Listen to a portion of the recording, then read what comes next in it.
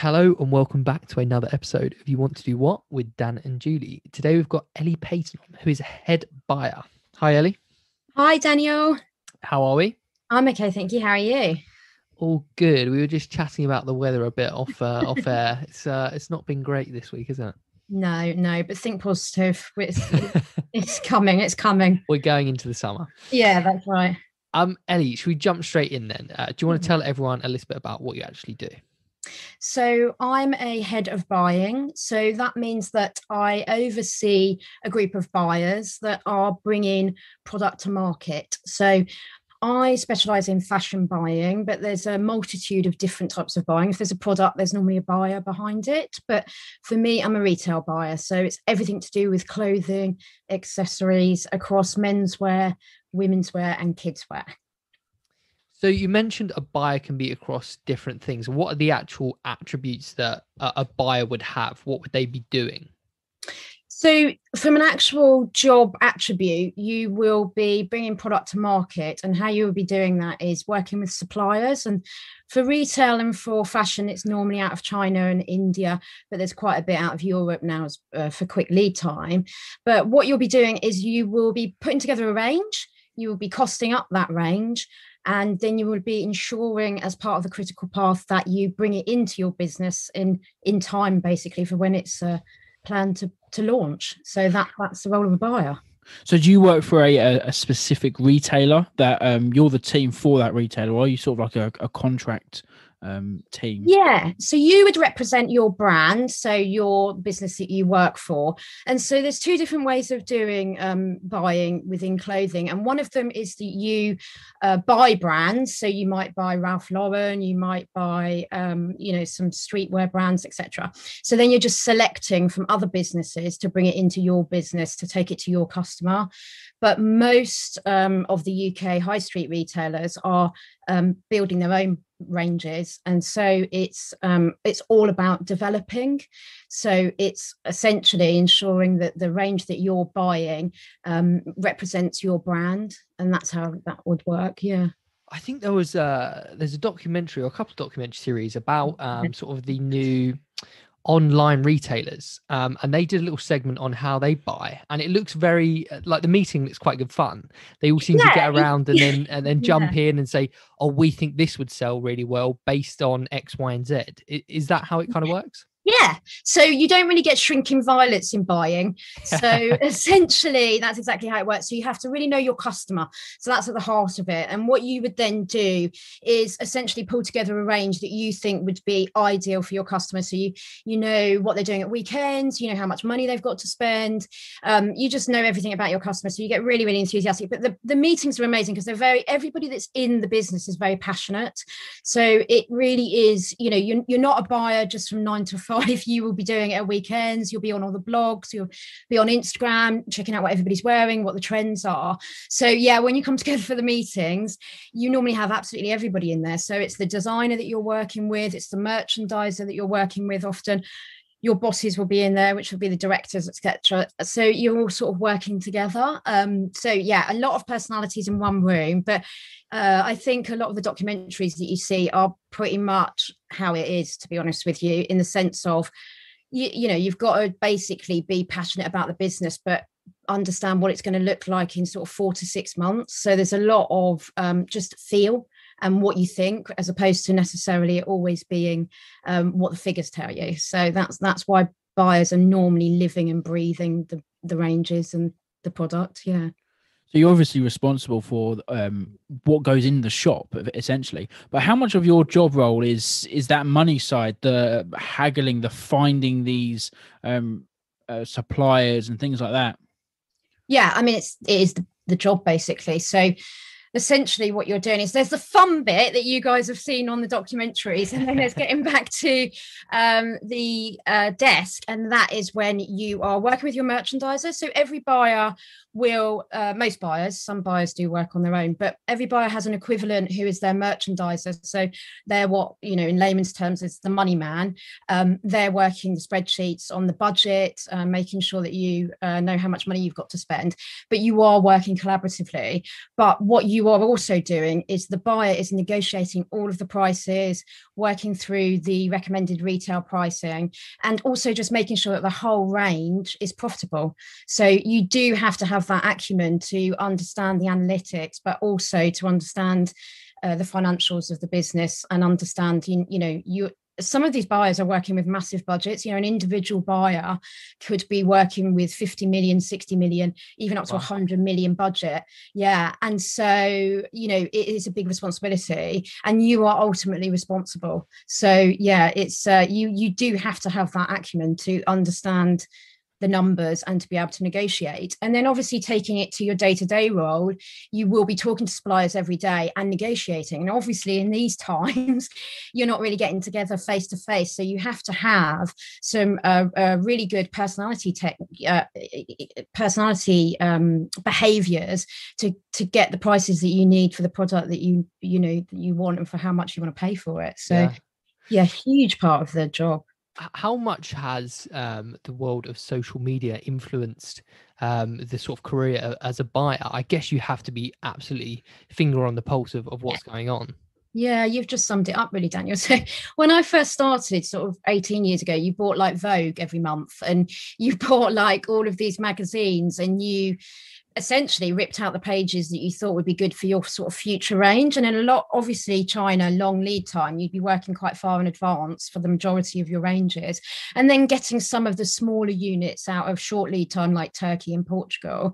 Now, with social media, as you've probably seen on some of the documentaries, um, you can have a garment going into, um, you know, first stage within 24 hours being sent to you a sample to approve, you know, and potentially you could get product to market that's been made in the UK within kind of a week really and get it out to people if you're really if you've got a good relationship with a factory in the UK so much quicker.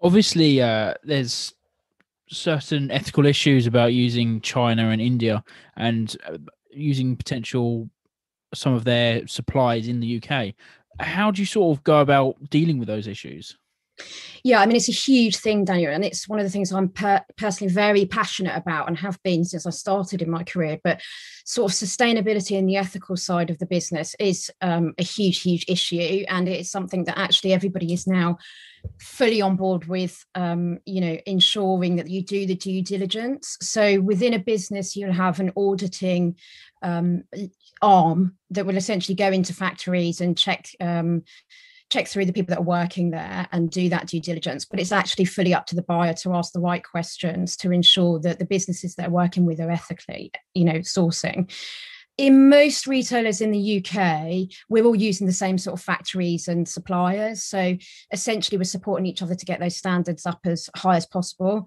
But obviously, the clothing industry, uh, you know, it's a hugely polluting industry. But there are some amazing initiatives going on out there and some fantastic companies that are part of like B corporations, um, just trying to make sure that we we bring this industry up into the 21st century. I think it's our biggest challenge to be honest with you. So you know to, to, to, balance between profitability sustainability and ethics but there's some amazing companies out there that are doing some great stuff. But it's a huge part now of being a buyer. It was something you never talked about when i started but now you know you, you really need to do your own um, background research to make sure that you're not dealing with any suppliers that um, are not working to ethical standards. Mm. And and in the world of, of fashion, let's take for example as a buyer, how how different are the uh, sort of because there's obviously levels of fashion, isn't there? Yeah. Or fashion houses and you know you've high street stuff and then you work your way up to to the really yeah. high end stuff. Is it easy to apply your skills to those different areas as a buyer, or are they very much different?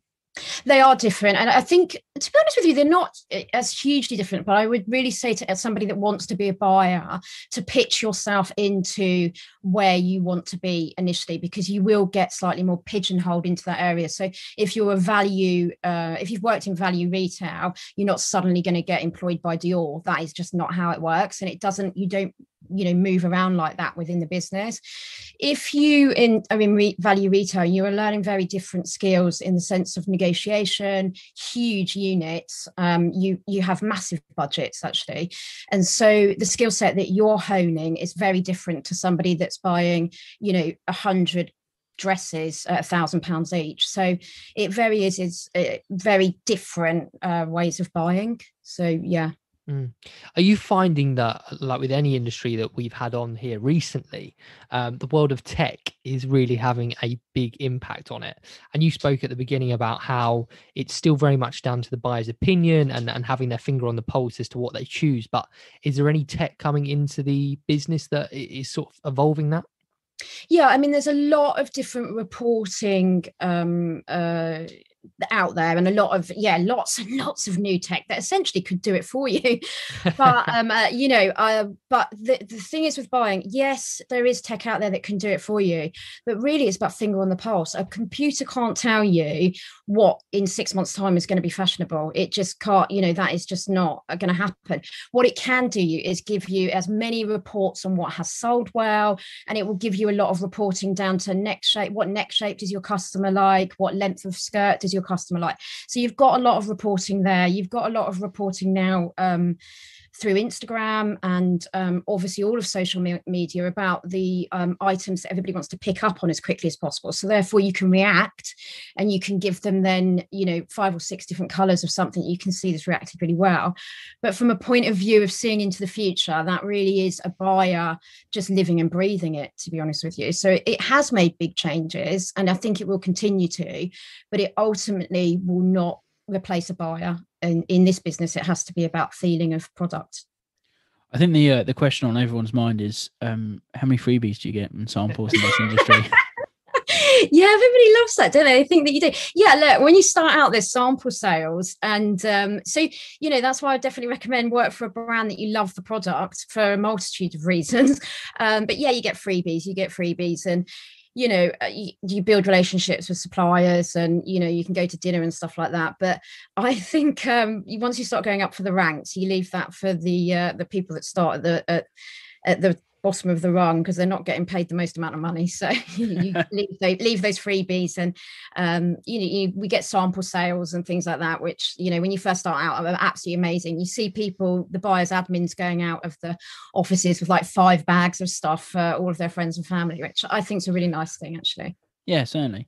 Um, for you obviously being like the, the head of a team managing a team what's that like how how do you deal with um with managing a team yeah, I think it's about communication, to be honest with you, and learning about what everybody on the teams, their motivations are. So, very much within buying, you know, you might get one buyer that's really driven by the fashionability, by the trend, by working with their designer. You might get another buyer that's really driven by um, the reporting and the numbers and the sales. So when I'm, it's a lot of personality. So realistically, I think how you manage well is to communicate as effectively as possible what the strategies of the business are, short and long term, but also to keep it as a team. So I put in lots of team meetings, lots of catch ups, and a lot of sort of supporting each other. So, you know, and trying to make it fun as well. You know, a Monday team meeting, you know, with a few sweets and a couple of coffees and stuff like that. I think it um, makes everybody a bit calmer on a Monday and, and makes everybody enjoy it a bit more. But I think it's about communication mainly.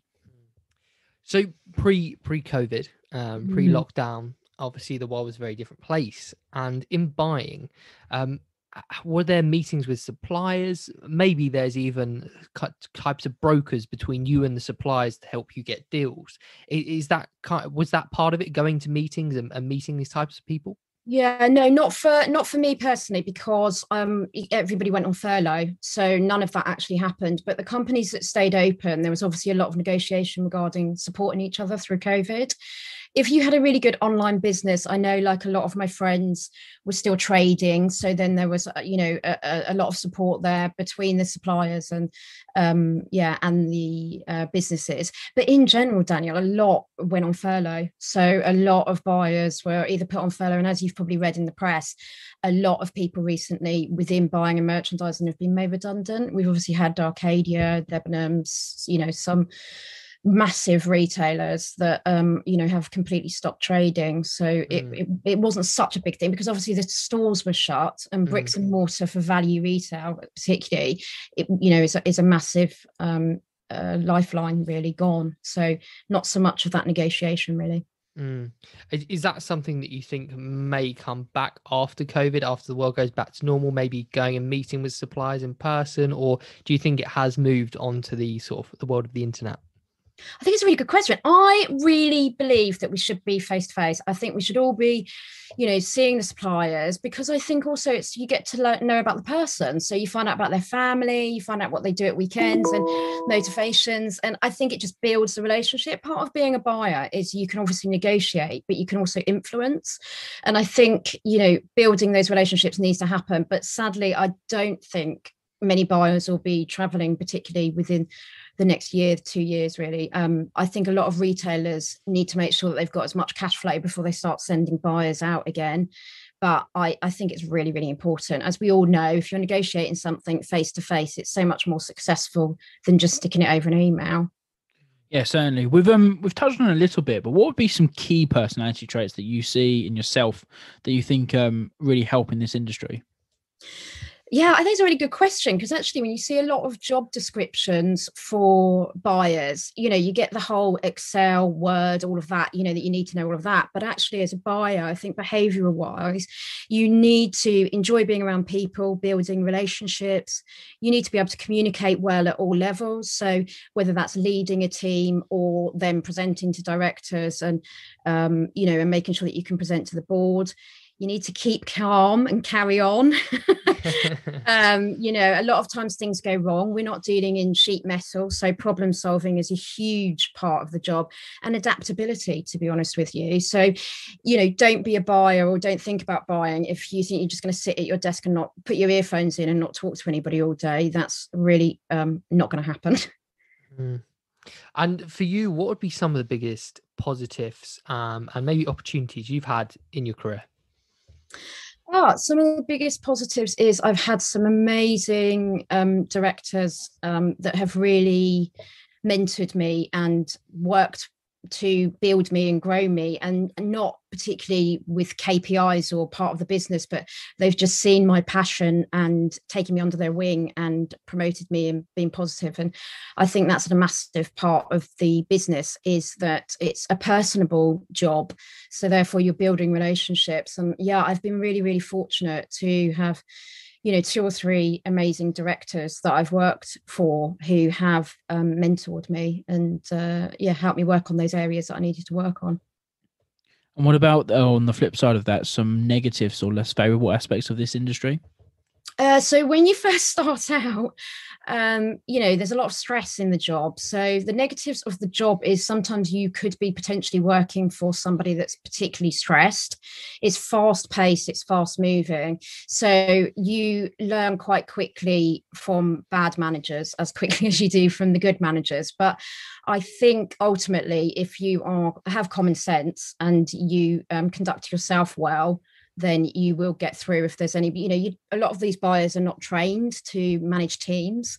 So um you know you're you're learning on the job in a lot in a lot of occasions like that. So that would be the negative bit is hopefully you don't get somebody that you can't get on with day to day because it's a very intimate position. You start um, as a buyer's admin, and then you go up to an assistant buyer, then you go to a buyer, and you all sit together every day, the three of you, with the equivalent on the merchandising side. So you have to really be able to get on with people. How important is uh, is networking within the industry? Yeah, huge. Uh, it's the same as sort of any of these. Um, it's because it's information sharing and obviously within fashion and clothing it's all very um, quick. So yeah you have to network really. And i think particularly you know when i first started out there weren't very many jobs. So i did a lot of work experience. I um, did a lot of working for people for free. And then uh, you know as time went on you know a lot of positions come up and you are recommended to them because you've got a good reputation. I think my last three jobs were because I worked with a director previously that knew, you know, uh, what my background was and and how and how I had worked previously, or they, you know, and they all know each other and they all talk to each other. So, yeah, networking is a huge part of it, and especially from the sustainability side as well. You know, all of that um, new tech and new initiatives that are happening around that. You want to network so you can find out as much as possible, really. I'm unsure. Is it is it a, a, big industry? In obviously, fashion is huge, um, but obviously, your sort of where you work within it is that is that quite large within the country. Uh, yeah, so I think you know most of the retailers that I've worked with have had you know around 500 stores in the UK um, and Europe obviously I've been at Arcadia and places like that. So value retail is normally massive. So for instance, you know, you I would be responsible for a hundred million pound department, and that is then you know part of a much bigger business up to 500 million, 600 million pound businesses. So yeah, it's absolutely huge the value retail market, and especially if they're on you know in bricks and mortar as well, because you'll find one on every um, high street. So yeah, it's a huge industry. What's your thoughts on on value retail going forward? I mean, obviously the pandemic's had a massive effect, and like you say, bricks and mortar are are very important to it. Where do they go from here? I think we have to embrace sustainability and um, ethical trading, and so I one of my passions is to take value retail forward, but also to promote um, quality. So to make sure that you know you might pay a little bit more, but that product will last you know as long as you need it to last so we really really have to embrace the future and i, I think it's a I think everybody will want a certain level of value retail, but I don't think everybody now wants the cheap, cheap entry because I think everybody realizes what has to happen to to essentially achieve that. So, you know, I think it's going to be an interesting time over the next few years, but I feel that most retailers, especially in the UK, are very forward thinking now and understand that actually um, quality and sustainability with the value but value for money um, all goes hand in hand we talk about um, how people can sort of stand out um, when they're applying for jobs in in the, all these careers yeah. and obviously now a cv is it kind of gets a bit lost in the ether mm. Um, how can people stand out and show they have a passion for this industry. Uh, obviously because you know being the head of head buyer you, are looking uh, for people to come into the business so you would have a good understanding of of what you're looking for yeah, I mean, I think it'd probably be like everybody's answered you at some point, Daniel, but you must know the business that you're going into, but you must know what the role is going to be. So a lot of people will send CVs thinking, you know, if I get a job here, I'll be flying off to Paris next week. And it just doesn't work like that. So I think the people that stand out are the people that really know what it is to be a buyer's admin assistant. So to start at the beginning and understand what that job role is. And luckily, there's a lot of um, information now on the um, on the web, on the internet to tell you, you know, what those characteristics are that you need and what the day-to-day job is. So for me that would be somebody that would stand out and also to understand what you could bring to the business. So if you really understand the business that you're going into you need to be able to speak passionately about that business so that you can show that if you hit the ground running you would understand the customer. So i think those would be the things that kind of stand you out over and above. But obviously if you have managed to get some work experience um, you know if you've made clothes if you're into design you know any of those things. A lot of people have their own instagram sites now where they're bringing together looks you know all of those things make you stand out. And for anyone listening thinking oh actually i'd quite like to be a buyer's assistant what would that involve so, actually, being a buyer's assistant, you would be the admin assistant on the department. So, essentially, you would be managing the critical path. So, the critical path will have absolutely every order on. And so, it's an Excel spreadsheet. You would be um, dealing with that every day. You would be taking phone calls from suppliers. You would be helping prep meetings for your buyer you would be taking sample management into account and making sure that you know all the everything that's needed for the meetings are um, set up. And then also there will be potentially a lot of uh, responsibility around social media. So normally the admin on the department is responsible for ensuring that you know you're sort of promoting your department as much as possible. So it's a very, really, really varied role. Obviously, there's probably not a degree or something, or even an A level that um focuses on fashion buying um yeah there is oh there is yeah okay.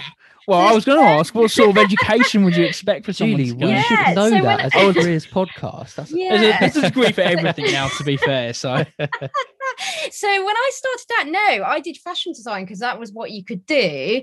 But now there's about 13 universities across the UK that cover about 25 courses. So Manchester Met, uh, De Montfort, all of those universities, and they will teach you fashion and buying um, as a BA honours degree.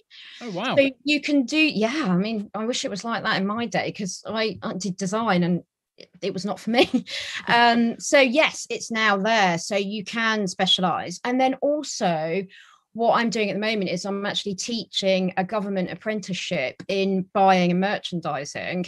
And if you've got a job in a retailer, you can come on this course and it's subsidized by the government. It's only been going for a couple of years and it's the same thing, it's buying and merchandising. So we are covering like every module um, that you would be doing within your job. So you do it as like an equivalent of the old NVQs. So you have a job, but what you do is you are released to be able to learn about your industry. So there's a lot more out there now than there used to be for to that's, be able to. Sort of that's such a good initiative. The way yeah. that, so do you need a job in the industry before you can apply to do this apprenticeship? Yeah, for the apprenticeship right. you do. So um, you know, and I mean I've got somebody on the course that's 18 years old and I've got somebody on the course that's 27, 28. So, you know, it's that sort of entry level point. But then also there's a that's a level four, and then we've got a level six, which is if you're a bit more more experience. But what I would say, and I just want to get the message out there because a lot of people don't know about this apprenticeship because it's so new.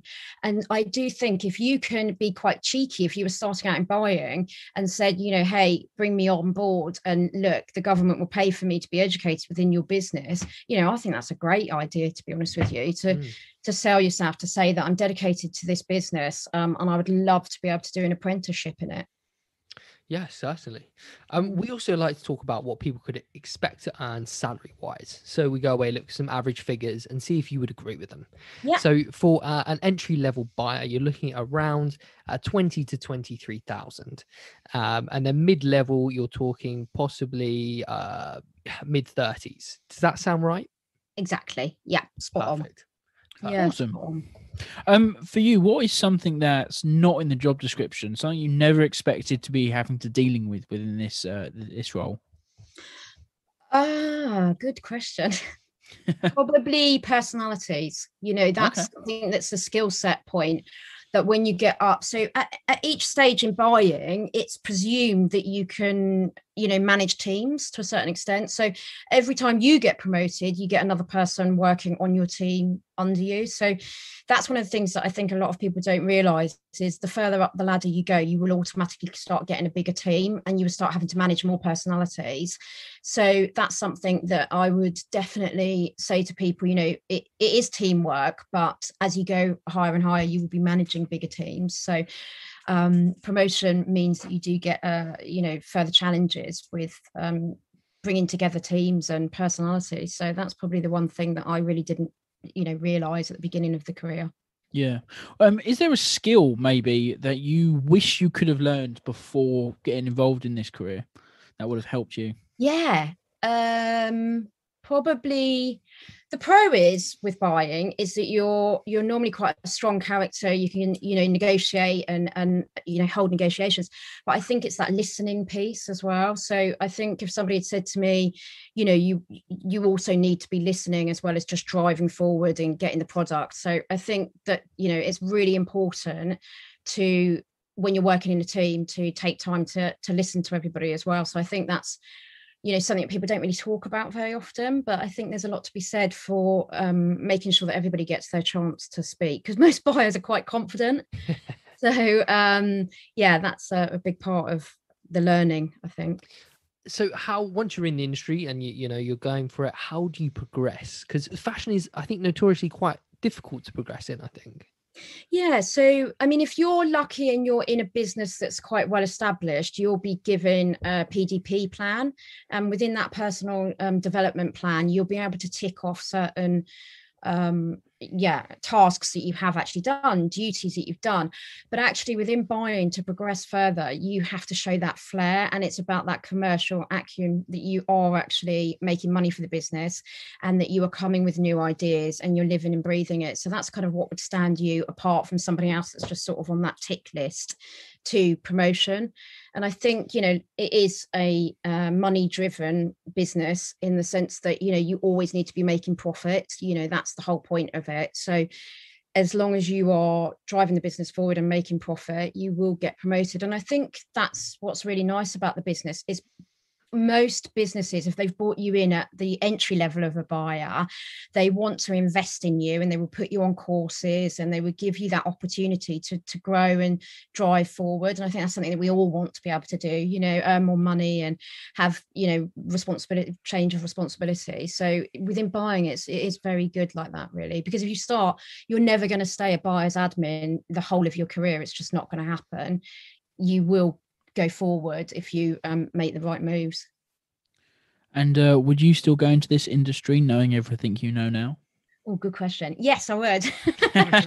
I think I was really lucky because I managed to find something at an early age that I absolutely loved. And I think, you know, the skill set that you build and the business, it's fun. It, it you know, it moves forward with trend. It's um, a lot of passionate people around me. So yeah, I I would still go into it definitely, hundred percent. Well, Ellie, it's been a real pleasure hearing about your uh, your career and and you've given some great info out. So thank you for coming on. Thanks, Daniel. Thanks very much. Uh, where can people find you on uh, social media? Oh, uh, yes, I am actually um, on LinkedIn just under Ellie Paton. So that would be first port of call. Awesome. Brilliant. Well, thank you so much for coming on. Thanks, Ellie. Yeah, brilliant. Thanks so much.